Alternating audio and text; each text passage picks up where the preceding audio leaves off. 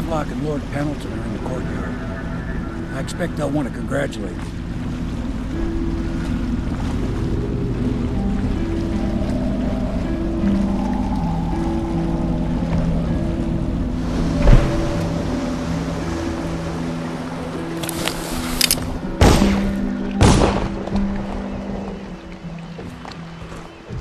He's alive. Thank you, Corvo, thank you. My uncle's a good man, and one day he'll prove it. Here. I know you did this for the right reasons, but I want you to take this as a reward. It's an old heirloom one of my aunts gave me.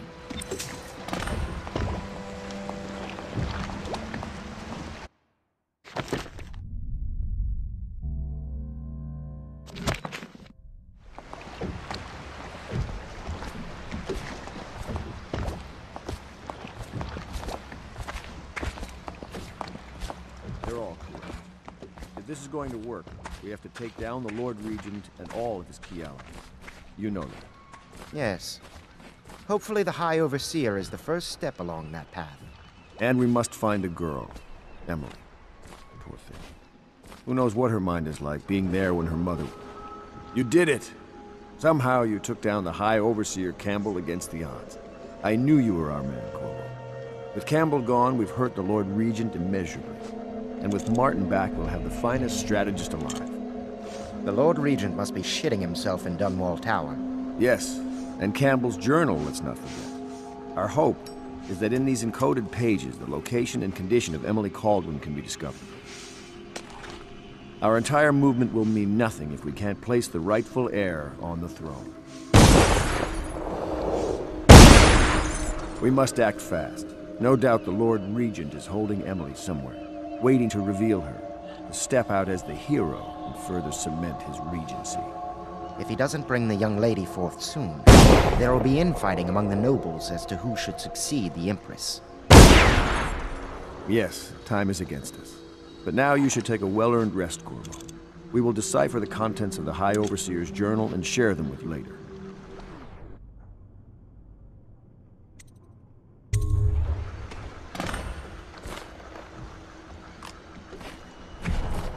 Whiskey everywhere in this place, but good wine is hard to come by.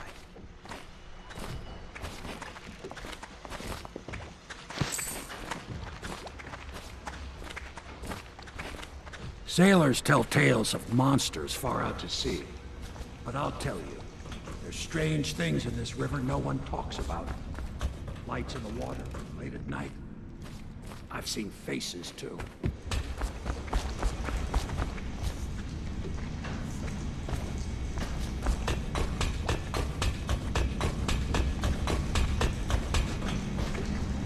Can I be of service to you?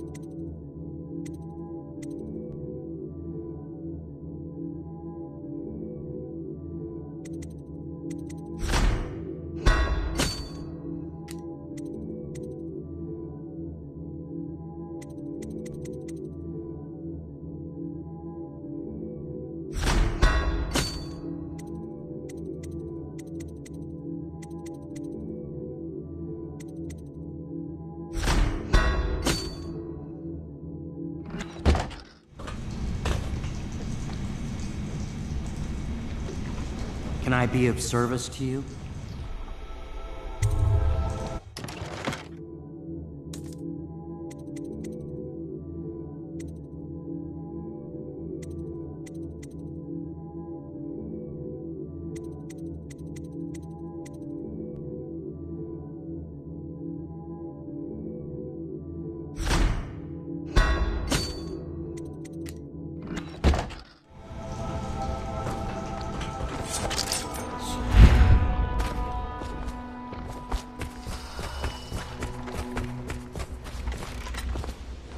You mean to tell me you don't know how to curtsy properly? Please, sir. I was never in service with a noble. That's not an excuse. You need to learn proper decorum. The Hound Pits has seen a few lords and ladies in its day. If they were here, I expect they didn't want to be recognized, sir. Never mind that. Lord Pendleton ought to be shown the respect he deserves. He doesn't require it, but he notices. Yes, sir. Sorry. But even so, have you forgotten we may soon be guarding a future Empress? You will be in the presence of the most important person in the entire known world, and you don't know how to curtsy.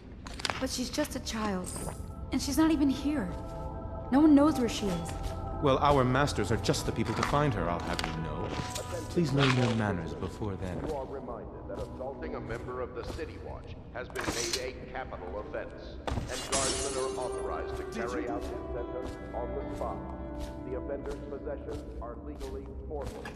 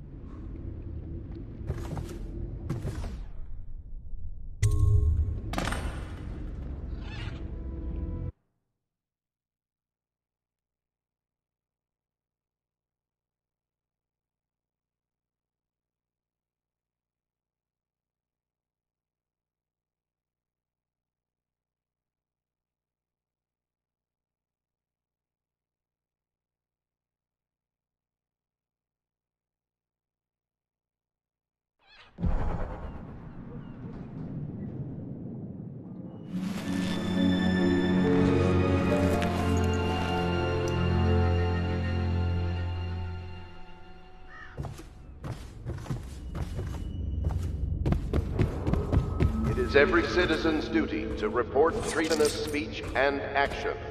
The state depends on you.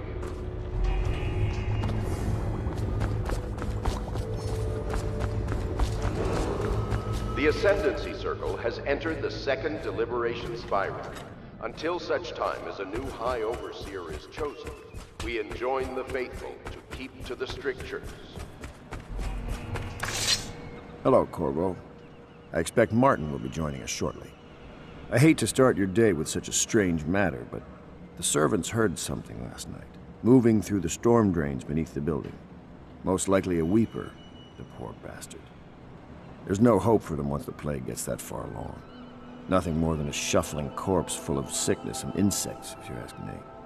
I'd appreciate you investigating, just to be sure it's not a nosy guardsman that's getting too close. Here's a key to the hatches. I'd send a servant down there, but they'd die of fear on the spot, I'm afraid. Maybe Piero can concoct some sort of sleep poison for your crossbow if you want to go that route.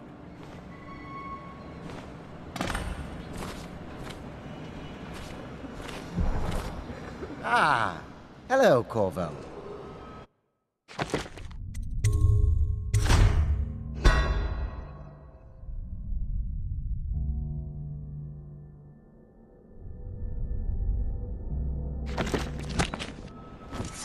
There. You are reminded that assaulting a member of the City Watch has been made